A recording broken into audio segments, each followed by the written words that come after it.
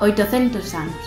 800 anos dende que Alfonso IX deu noso o título de vila e que Enrique IV cambiaría despois a cidade.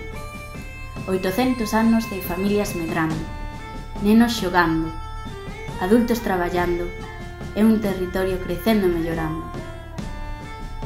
Anos dos Andrade, dos García Naveira, da chegada de Don Baltasar a Vila.